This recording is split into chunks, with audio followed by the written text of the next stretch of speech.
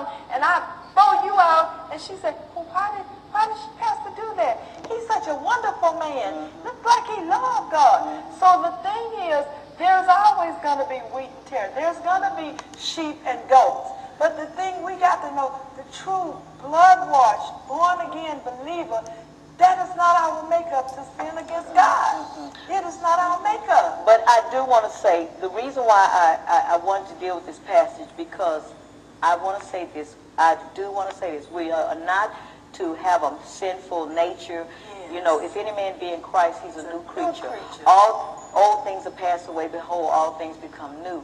But I do want to say this, that we do have in this day, because it's so evil, Christians are getting caught up in things. And if you don't find somebody, and the devil will make you feel like some people get up and preach where you ain't got no business sinning, da da da, and that's absolutely true. But my God, I'm sorry. David did what he did. Samson did what he did. If pe- Peter cussed like he did. But the thing about this passage is that I, I'm just saying that it's somebody out there that God is saying, you've done it, you need to stop and find somebody that you can talk to and give us a call. Uh, the number's on the screen there, and uh, we don't counsel, but we will pray for you. And I just want to say we're getting ready to close today, but I want to say this: we're not giving you license to sin. That's not what this what this what this is about.